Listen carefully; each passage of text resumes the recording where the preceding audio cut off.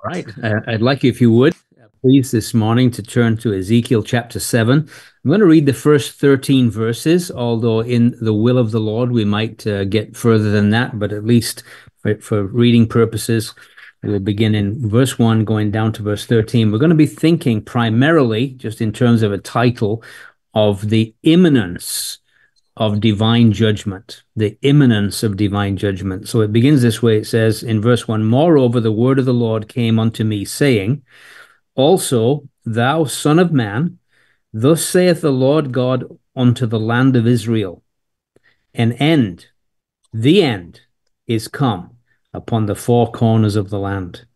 Now is the end come upon thee, and I will send mine anger upon thee and will judge thee according to thy ways, and will recompense upon thee all thine abominations. And mine eye shall not spare thee, neither will I have pity, but I will recompense thy ways upon thee, and thine abominations shall be in the midst of thee, and ye shall know that I am the Lord. Thus saith the Lord God, an evil and only evil, behold, is come, an end is come, the end is come, it watcheth for thee, behold, it is come. The morning is come unto thee. O thou that dwellest in the land, the time is come, the day of trouble is near, and not the sounding again of the mountains. Now will I shortly pour out my fury upon thee, and accomplish mine anger upon thee, and I will judge thee according to thy ways, and will recompense thee for all thine abominations. And mine eye shall not spare, neither will I have pity. I will recompense thee according to thy ways and thine abominations that are in the midst of thee, and ye shall know that I am the Lord that smiteth. Behold, the day, behold, it is come. The morning is gone forth, the rod hath blossomed, pride hath budded, Violence is risen up into a rod of wickedness. None of them shall remain, nor of their multitude, nor of any of theirs, neither shall there be wailing for them. The time is come, the day draweth near. Let not the buyer rejoice, nor the seller mourn, for wrath is upon all the multitude thereof. For the seller shall not return to that which is sold, although they were yet alive, for the vision is touching the whole multitude thereof, which shall not return, neither shall any strengthen himself in the iniquity of his life. And so, again, God will, as always, bless the reading of his precious word. And so, I want to just set chapter seven in its context. Remember, we've uh, we're in this section now, verse chapters six and seven, where he is giving oral messages. And that's a, that's not an unusual, uh, well, normally wouldn't be an unusual thing, but in Ezekiel's case, it is because remember, he is God has made him mute, and the only time that he is going to speak is when he has a message from God. There's a man in whom there was no small talk. Now, when he speaks, he's got a message from God, and he, God opens his mouth to deliver it. And of course, the background is that he's he's given these oral messages, having acted out several of these dramatic kind of uh, things lying on his side having his hair cut dividing the hair all of these things that we've looked at so far. These these kind of very visual messages are now explained by oral messages. And so that's where we find ourselves. Chapter 6 the first of these oral messages really spoke about the inevitability of judgment uh, that it couldn't be avoided. Judgment had to come because of the conduct of the tribe of Judah, the, the, the nation of Judah. So, so it had to come. It was inevitable. Chapter 7 speaks of the imminence of divine judgment, that this judgment was right at the door. It was so close. Uh, it was uh, the delay was was coming to an end. God's long suffering, if you like, had reached its limit and judgment was about to fall. So the whole prophecy of this chapter is occupied with the nearness and the completeness of the judgment that had already been foretold. So that's kind of the background. God is going to judge. It is for, comes uh, in the form of a poetic lament uh, I'm told from, from Hebrew scholars. So it's kind of a poetic lament and uh, differs from previous chapters in that it, um, it, it, it kind of has that poetic bent to it, but it also closes up this first extended message of the book. So really the, the first section of the book is chapters one through seven, and this is kind of bringing the first section to an end. We'll move into a second section in chapter eight. We'll explain that when we get there, but it's on a different date. Uh, the first section is all to do with the first dating of the book. The second section opens a new series of messages that the prophet will bring. So it begins this way, of course. Uh, if it's a message that's been delivered from God, of course, what a way to begin the message. Moreover, the word of the Lord came unto me, saying. And so the messenger is telling us, where did he get his message from? This is none other than the word of the Lord that came to Ezekiel the prophet. And of course, it's a message of impending doom. And I want, want to notice just a general thing that in verses two through four, and then in verses five through nine, you, you basically have this idea of a pend, impending doom, and it's repeated twice for emphasis. And just to kind of tie the two sections together, I want you to notice that how they they end. In in two through four, it ends in verse four with this: "Mine eyes." Mine eye shall not spare thee, neither will I have pity. And then verse 5 through 9, how does that end? Look at verse 9. And mine eye shall not spare, neither will I have pity. So that kind of links the two together, you see. So, in other words, God is, is bringing this doom upon them and a doom in which there will be no pity shown to them. So, it, really, these are the messages that he's giving of, of threatening of imminent doom upon the nation. And what's sad is that uh, sometimes we hear messages from the Lord and they're they're very clear, you know, kind of the way of the transgressor is hard, judgment is coming. And uh, the tragedy is that so often um, we we hear those messages and then we forget them very quickly.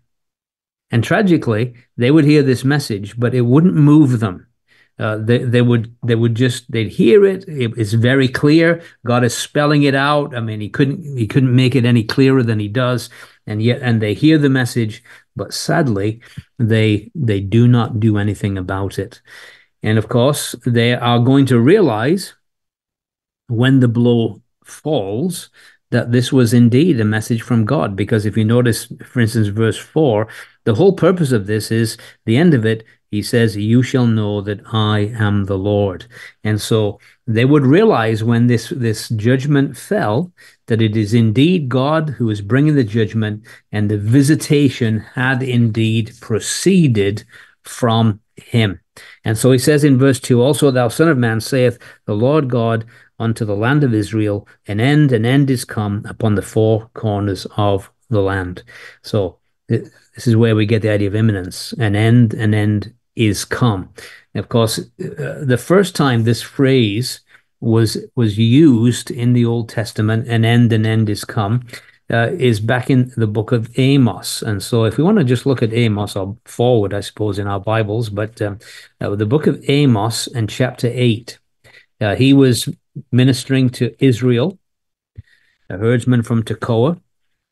And this is what he says in chapter 8, of Amos, verses 1 and 2, he says, Thus saith, uh, thus hath the Lord God showed unto me, and behold, a basket of summer fruit. Now, when we think of a basket of summer fruit, it looks very beautiful, doesn't it? You think of something that, that, that looks lovely, right? This this lovely, and I don't know, just use your imagination, berries and uh, peaches and uh, uh, be ideal if it had mangoes in there. That's one my favorite fruit. But all these all these lovely fruits. And he, then he says in verse two, and he said, Amos, what seest thou? And I said, a basket of summer fruit. Then said the Lord unto me, The end is come upon my people of Israel. I will not again pass by them any more. And so we say normally this would be a pleasant sight, but actually it pictured Israel ripe and ready for eating, but in the sense of judgmental. God is bringing a judgment on them, ripe and ready for eating, just as they, this basket of fruit was ready for eating, just as they were ripe for judgment. And so the words an end here, back in chapter 7, it's an exclamation. It's very strong language. He, so he says, an end, the end is come. And so it's uh, a, a, a message really kind of in its entirety is this it's an end. The time of patience was over. There was to be no more waiting. It, it's, it's really when the long suffering of God runs out. That's a kind of scary thing when the long suffering of God runs out. what he's telling him is it's run out. that this the judgment that they had been deserving of for a long time. But God, in his long suffering, had allowed a lot of time for repentance. And that's what he always does. He allows lots of time for repentance. They had not availed of that opportunity. And so now his long suffering had finally run out. And so the, the Ezekiel's accent on imminency and the urgency of his tone represents his reaction, in a sense, to public indifference and the refusal to take the divine threats seriously. The message had gone out, they'd been warned. Jeremiah talks about sending prophets rising up early, speaking to the nation, but they hadn't responded. And so, as a result, the time had come and judgment was about to fall. They had defiled the land with their sins, and the only way the land could be cleansed was by punishing the people for their sins and clearing them off the land. And so you'll notice he says, again in verse 2, also, thou son of man, thus saith the Lord God unto the land of Israel, an end the end is come upon the four corners of the land. So basically, God is literally going to empty the land of the sinners, take them out. Pretty much, apart from that tiny remnant that we talked about, the land is going to be emptied because of the sin of the people. And of course, the dealings of God are to encompass, as we already said, the four corners of the land. And there's to be no more delay since the end is come upon thee. Now, when actually did this literally happen? It's kind of interesting to to think about this. God talks about imminence, but actually, um, the judgment that he's speaking of, it fell within four to five years of the commencement of the siege of Jerusalem. How do we know when this really took place? Let's look at Second Kings 25. This is this is when this judgment actually fell on the land. And it describes it in detail. This is what is being prophesied about and so we're going to read the first five verses of Second Kings 25. It says, It came to pass in the ninth year of his reign, in the tenth month, in the tenth day of the month, that Nebuchadnezzar, king of Babylon, came, he and all his host, against Jerusalem, and pitched against it, and they built forts against it round about. And the city was besieged unto the eleventh year of King Zedekiah. And on the ninth day of the fourth month, the famine prevailed in the city, and there was no bread for the people of the land. And the city was broken up, and all the men of war fled by night by the way of the gate between the two walls, which is by the king's garden. Now the Chaldees were against the city round about, and the king went the way toward the plain. The army of the Chaldees pursued after the king, over took him in the plains of Jericho, and all his army was scattered from him. So, this is kind of the description of this imminent judgment. And we, we notice it says begins in the ninth year of the reign of the king and ends in the 11th year, ninth to the 11th year, when the siege is broken, the famine takes effect. Well, if we look back to Ezekiel 1, verse 1, came to pass in the thirtieth year, in the fourth month, among the fifth day of the month. Um, it says um, uh, it was the fifth year of King Jehoiachin's captivity. Okay, so fifth year to eleventh year, so it's four, five, six years, something like that, before it all finally uh, occurs. So it said within four to five years, the commencement of the eighth, 18th month siege of Jerusalem by the Chaldeans that would result in this imminency being fulfilled. And so when we talk about imminency, we often talk about the Lord could come right now at any minute. of course, he could. We believe that. But in this case, uh, it's it, there's still, you know, for this prophecy to find its fulfillment, still four to five years before it actually finds its fulfillment. But that's still pretty close, isn't it? Imagine if uh, judgment on the American continent was going to come in four to five years. That's not a lot of time. and it's all over, you know, kind of God is finally going to judge the nation. And that's not a prophecy. Don't think I'm being a, I'm not a prophet and all the son of a prophet in case you're thinking I am. Uh, but I'm just saying, just imagine what that would be like uh, four to five years from now. Total devastation. That's what he's basically saying. Now, notice in verse 3, it says, Now is the end come upon thee, and I, and I will send mine anger upon thee, and will judge thee according to thy ways, and will recompense upon thee all thine abominations. I want you to notice the, the phrase here, thine abominations uh, shall be in the midst of thee. Uh, it's kind of an interesting thing. Oh, sorry, according to thy ways, all thine abominations. Verse 3 I'll send mine anger upon thee, will judge thee according to thy ways, recompense upon thee all thine abominations. I want you just to notice those two phrases. In other words, the judgment that God is bringing is very much merited. It's according to thy ways and also recompensing all thine abominations. And so basically, it's the consequence of Israel's or Judah's rebellious history. You know, in other words, what God is doing is absolutely just. They're getting what they deserved. This is God is righteous in his dealings, and, and they'll never be able to say to him uh, that this was not appropriate. It's a very appropriate verdict and sentence upon their behavior, uh, upon uh, their ways, and upon their abominations. And again, doesn't that bring out the beauty of the gospel? Because if any one of us on this call, if God dealt with us according to our ways and according to our abominations, we would be in serious trouble. but the amazing thing about the gospel is that God dealt with his son, who ever lived to do the will of the Father to please him. And yet God, as it were, poured out his judgment on him who did no sin, who knew no sin, so that we uh, might be set free from the penalty of sin. So what a, what a wonderful gospel it is. But he is giving to them exactly what they deserve. And now notice in verse 4 it says, Mine eye shall not spare thee, neither will I have pity but I will recompense thy ways. There we got it again. Thy ways upon thee, and thine abomination shall be in the midst of thee. You shall know that I am the Lord. Now, I want to just focus on this little expression thine abomination shall be in the midst of thee.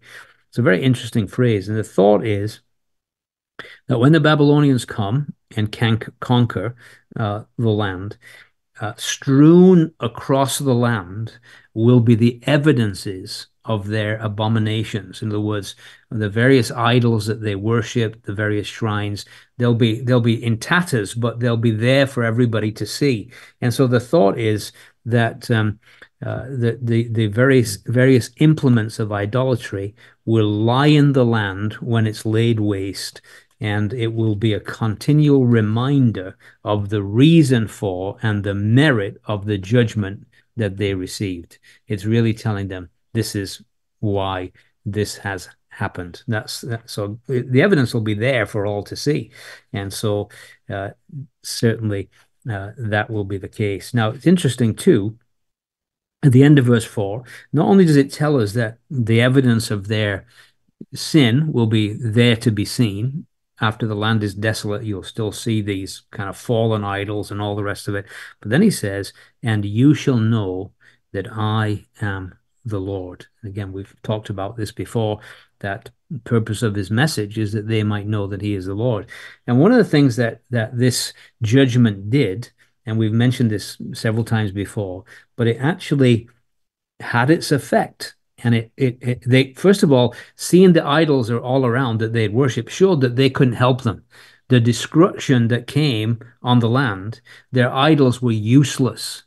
And so when they're taken into Babylon, they're they're they're finally cured of idolatry even though it had plagued the nation from its really from its very earliest days. They'd always had this. Go into the Book of Judges. They're building idols, you know, early on, and yet after all these years, finally the Babylonian captivity cures them.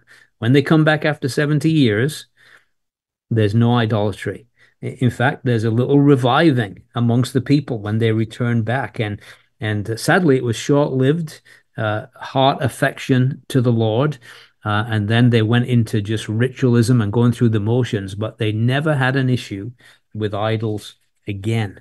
And so they really did come to that realization that He is the Lord and that all these other idols are useless. And so the Lord used it in that respect. And then verse 5, he says, Thus saith the Lord God, an evil and only evil, behold, is come an only evil, literally, an evil which is one. uh, and the idea is it's an evil so all embracing as to be complete in itself. It doesn't need any repetition. This judgment would be very, very significant, very severe. And of course, the word evil itself has has with it certain ideas. And you know, sometimes people ask the question, well, um, you know, can God do evil? And uh, of course, that's a big question, isn't it? People ask, is it possible? And and so we got to understand what is, what do we mean by evil? And so the word evil here has the sense of calamity. God is bringing this calamity. And of course, it's merited. It's a result of they are reaping what they have sown. God is allowing this judgment as a way to recompense them for their rebellion, their wickedness. But the idea that anything evil could initiate from the heart of God is absolutely false. uh, God is good in every way. Uh, but he also is a, as a loving father knows how to chasten his children. And so this this whole idea of calamity is probably a, a, good way of rendering this. God when we look at the the various things in the old testament calamity is a better way of describing it. And so it gives it really an appropriate rendering really. And so verse 6 he says again an end is come. The end is come.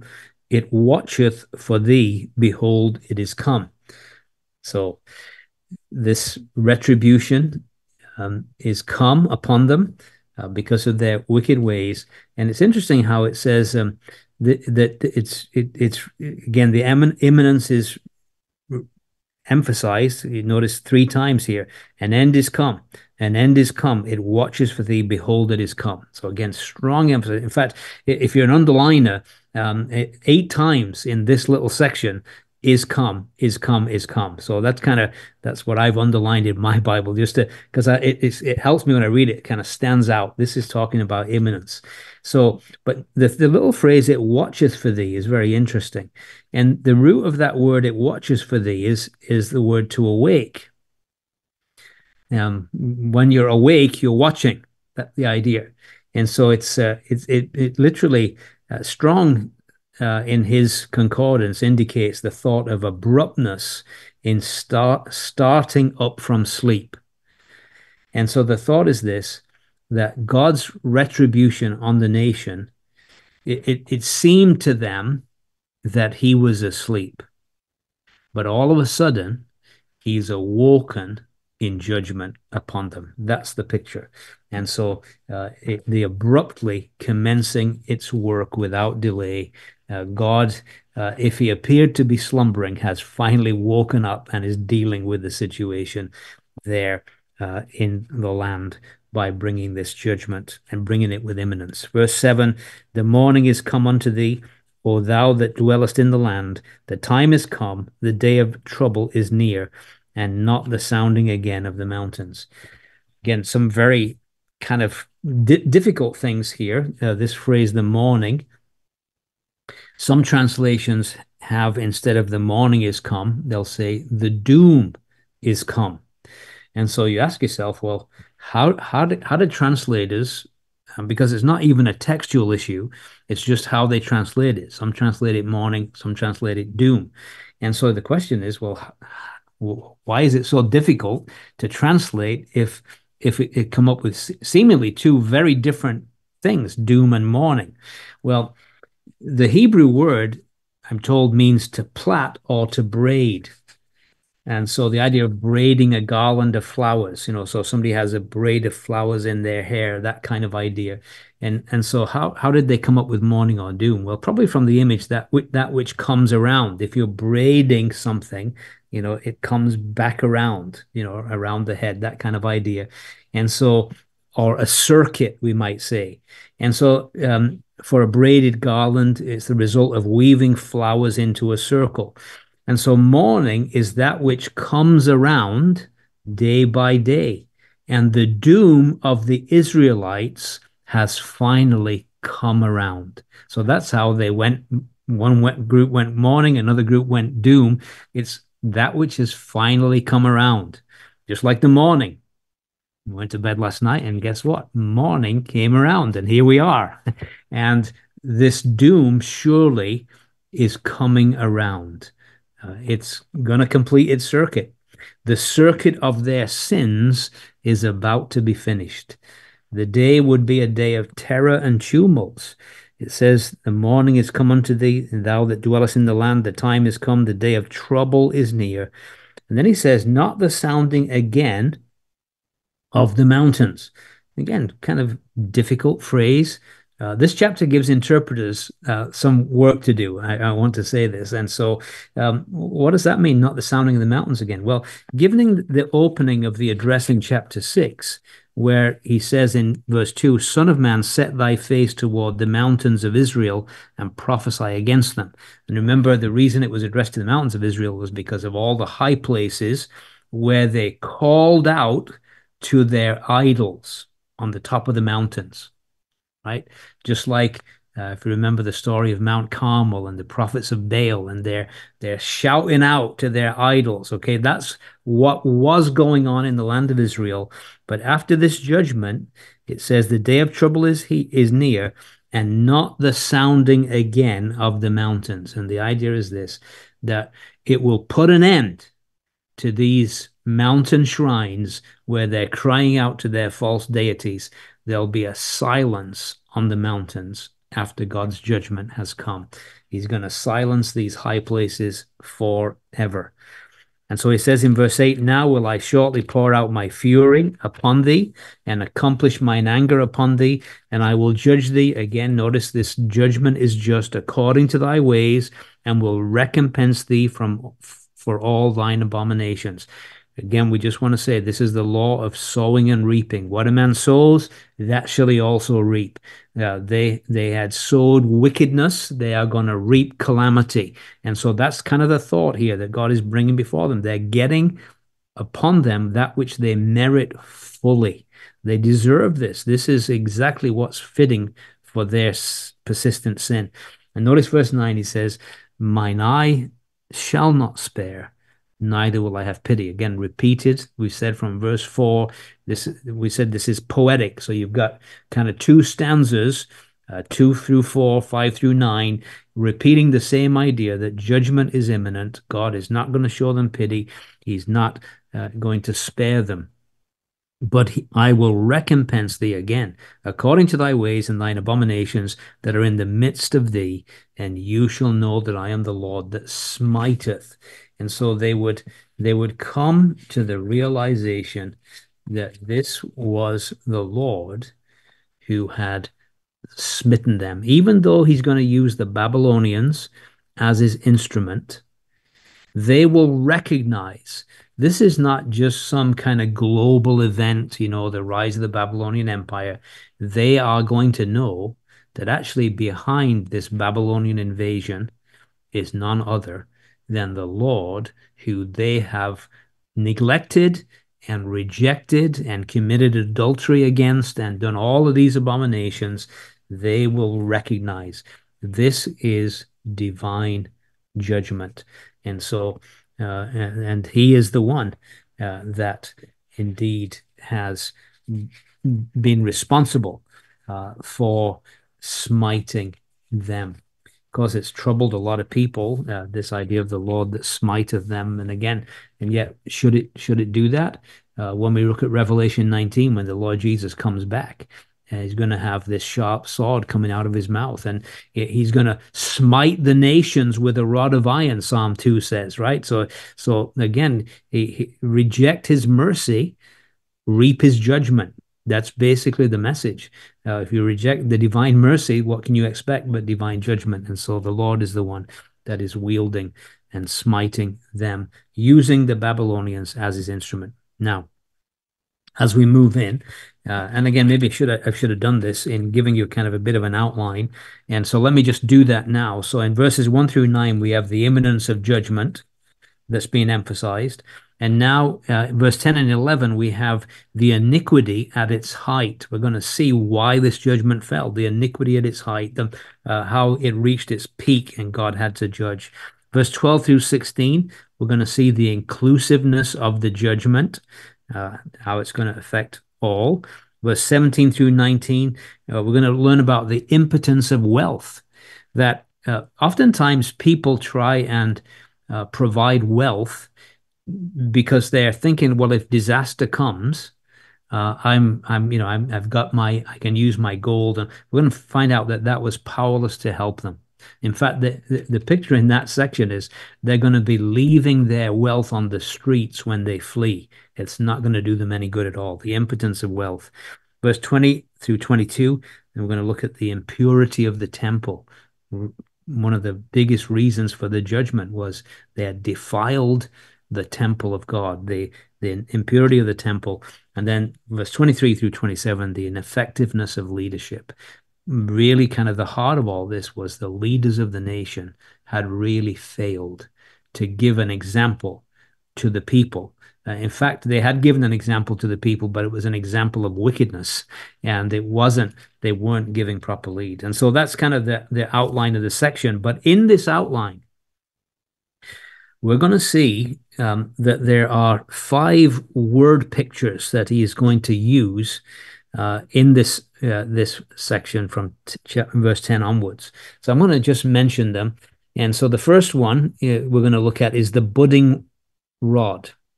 And so we'll see in verse 10 Behold the day, behold it come, the morning is gone forth, the rod hath blossomed, pride hath budded. So that's the first picture.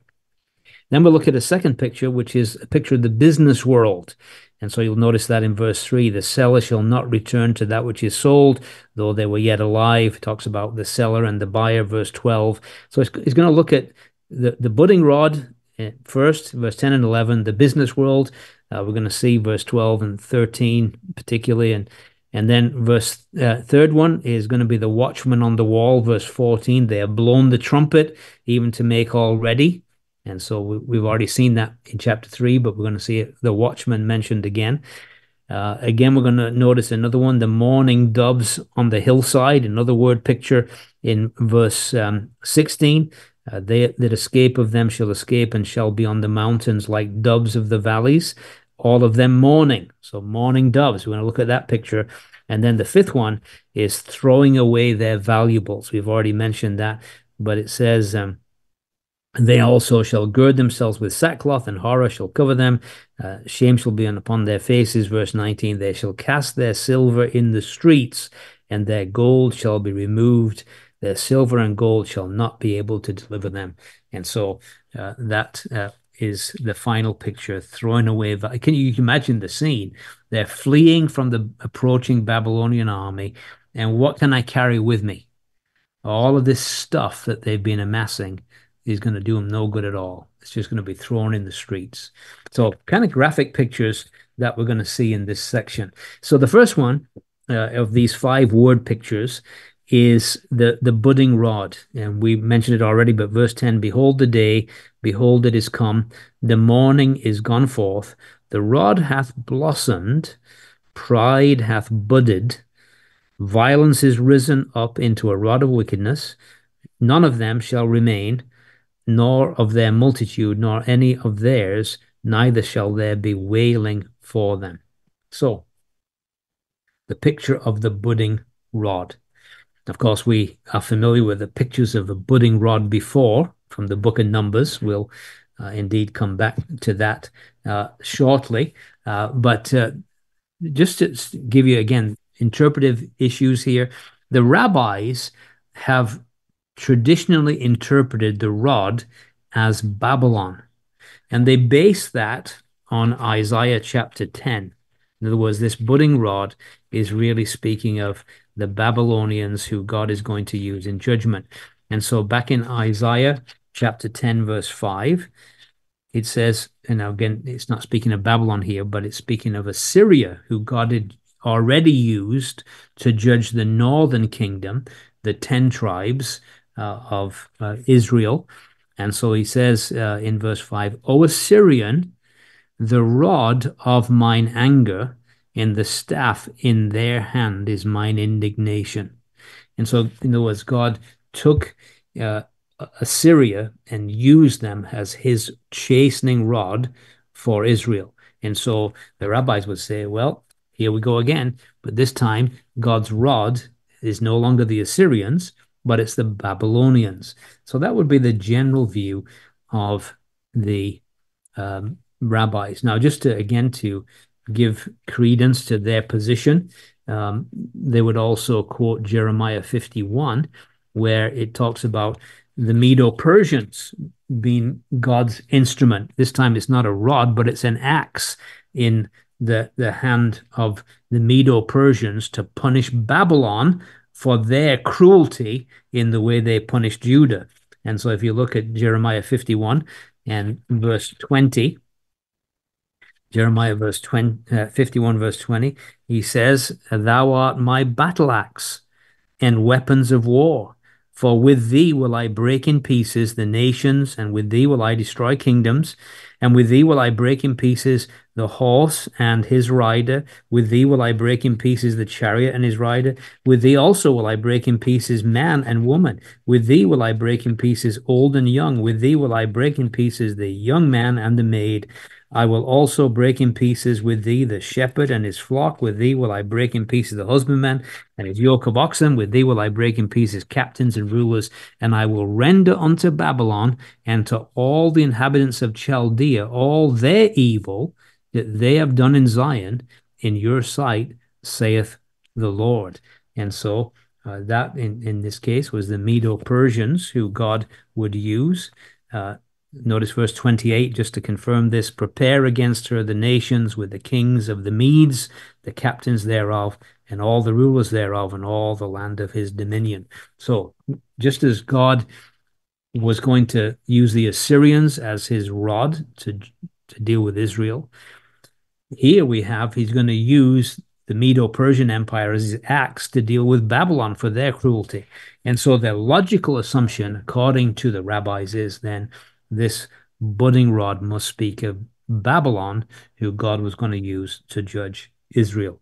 All sounds good. However, we said that the first time we see the budding rod is in the book of Numbers. And if we want to go back there, the book of Numbers, chapter 17. Numbers, chapter 17.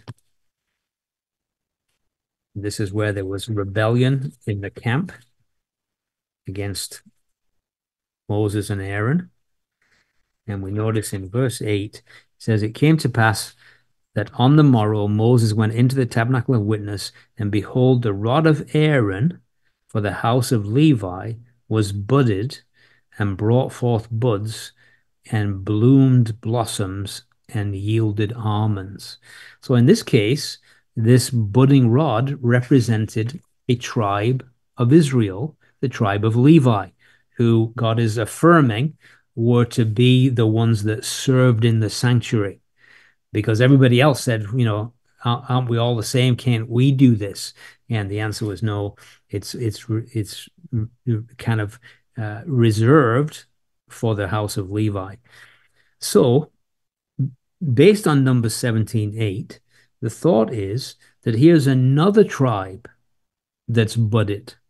And so notice again, Behold the day, behold it's come, the morning is gone forth, the rod hath blossomed, pride hath budded.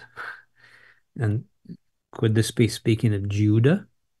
Pride hath budded, violence is risen up into a rod of wickedness. None of them shall remain, nor of their multitude, nor of any of theirs, neither shall they be wailing for them. And the thought basically is this that the the, the tribe of Judah, the the southern kingdom, they had blossomed instead of into a, a nation that brought praise to Jehovah, that what had blossomed was pride and violence. And therefore, judgment was fitting upon them. In other words, iniquity had reached its height. Uh, it, it they'd brought forth instead of bringing forth praise to Jehovah, instead of bringing forth that which was fitting, they had brought forth wickedness. And so the budding and blossoming is explained here. Clearly, the rod represents, and I believe this is the right interpretation, the tribe of Judah. They had blossomed into a wicked people and were only fit for judgment. What a tragedy, in a sense, that the people that should have been a praise to Jehovah had blossomed into wickedness, pride, and violence. And uh, it's always a, a, sad thing, isn't it, when when people that should be bringing forth beautiful fruit were bringing forth that which was a stench uh, to the Lord. And so that's contextually, it seems to fit better the iniquity at its height. Verse 12, we, we notice again, he says, The time is come, the day draweth near. Let not the buyer rejoice, nor the seller mourn, for wrath is upon all the multitude thereof. So now we get a picture of the business world. And uh, it's a it's a, a, interesting picture of commercial transactions. Um, and saying that they'll really be of no consequence. When judgment is imminent on the nation, all of this stuff that goes on that we think is so important suddenly becomes meaningless. And so he talks about the normal way of things is the buyer rejoices because he thinks he's got a bargain. On the other hand, the seller mourns because he thinks that he's, you know, he's given away a bad deal. It's all a sham, right? Isn't it? They, they, you know, they, they feel like they're being hard done by selling it, but, uh, and the, the, the guy going away thinks he's got a bargain, but, but oftentimes they're just playing a game. And so, again, the thought here is the smile of the buyer who thinks he has made a good bargain, the long face of the seller who pretends he has been worsted, will be a thing of the past. This is not going to happen. The commercialism is going to come to an end when this judgment occurs. Now, perhaps the background, verse 13 says, For the seller shall not return to that which is sold, although they were yet alive for the vision is touching the whole multitude thereof, which shall not return, neither shall any strengthen himself in the iniquity of his life. So perhaps the real background here, again, we're thinking of the land of Israel, how they do business. The real background is the year of Jubilee. Okay, so I want to talk about what, what do we mean by the year of Jubilee? And to understand that, we've got to go back to the Old Testament again. Let's go back to Leviticus chapter 25.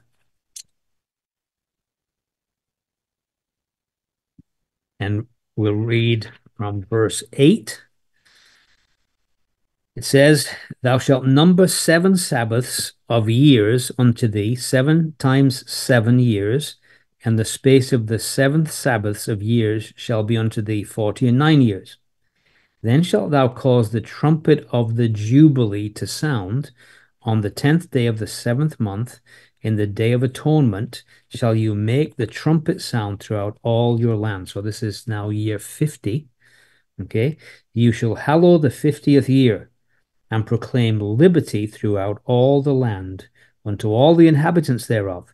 It shall be a jubilee unto you, and ye shall return every man to his possession. You shall return every man to his family. A jubilee shall that 50th year be unto you You'll not sow, neither reap that which groweth of itself in it, nor gather the grapes in it of thy vine undressed. For it is the Jubilee, it shall be holy unto you. Ye shall eat the increase thereof out of the field. In the year of the Jubilee, you shall return every man unto his possession. So, very interesting biblical concept is this year of Jubilee. And so, uh, the thought was this that that year, the land lay fallow. They were to let the land lay fallow uh, every seventh year, and then again in the 50th year. And of course, elsewhere, God says, I'm going to provide you double crops on the sixth year, so you'll be able to do this. I, you know, I, God's very practical. You, you're not going to lose out by doing this, but the land needs its rest. And other things like if you were an Israelite who had fallen into hard times and you had to sell yourself to be a slave, at the year of Jubilee, all slaves were to be released. Jewish slaves were to be released. Captives were set free. Not only that, um, you know, they were given their tribal inheritance. But what if through hard times you had to sell your inheritance? Well, you sold your inheritance, but in the 50th year, you got it back. It returned to its original owners. And so, actually, the value of a piece of land was determined by the number of years left till the year of Jubilee.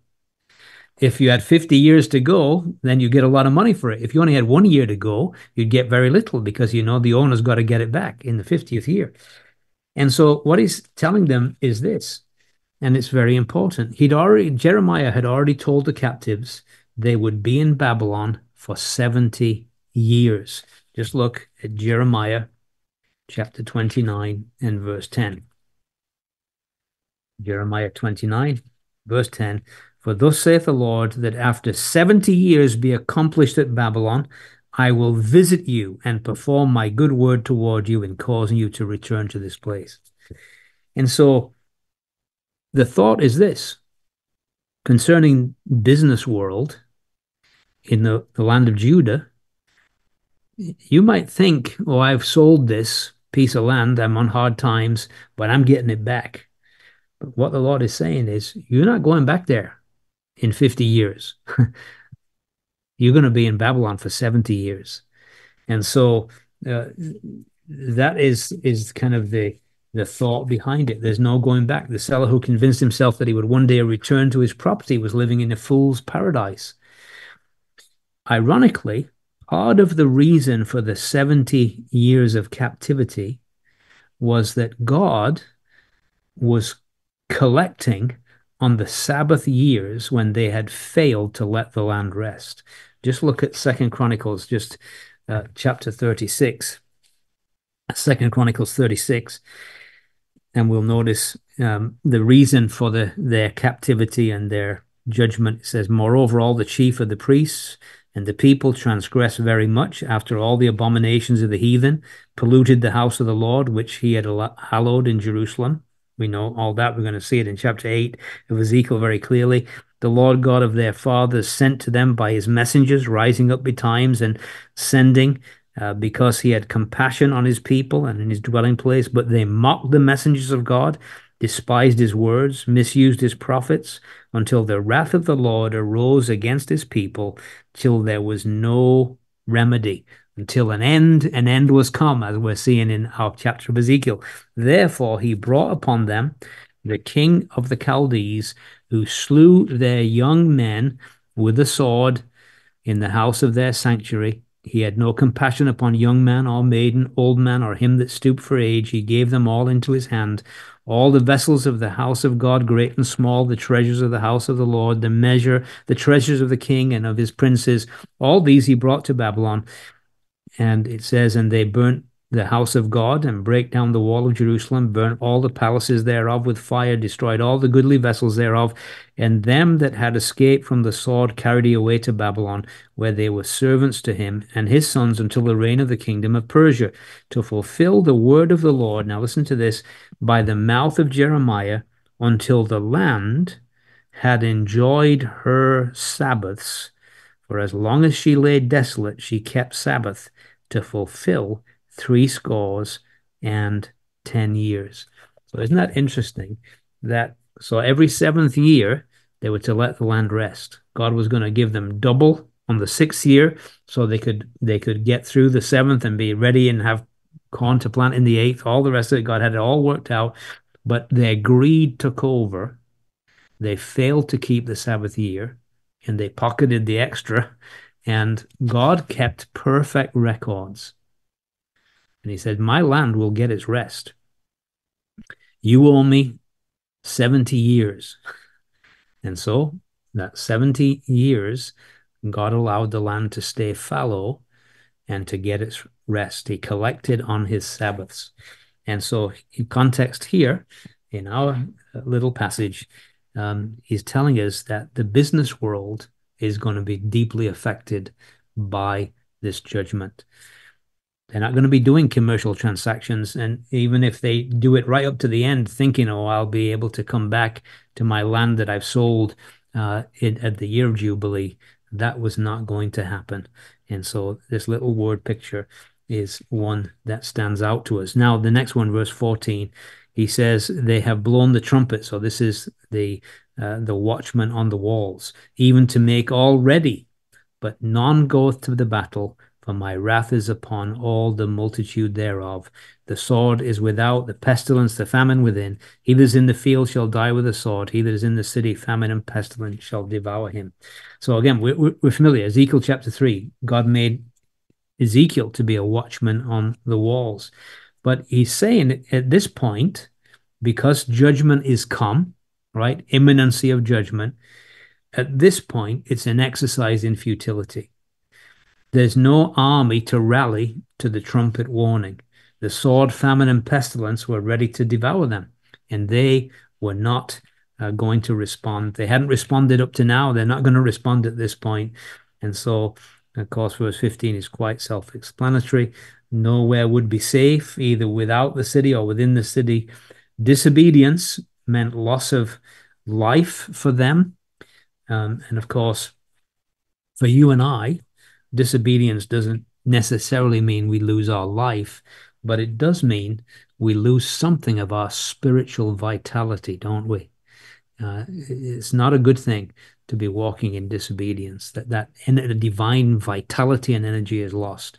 Uh, by the way, sometimes if we persist, uh, then we already know from 1 Corinthians 11 uh, some are weak and sickly, some asleep. Sometimes the Lord does take us home prematurely, but we would just say, generally speaking, that the idea is this that disobedience always causes with it a loss of spiritual vitality.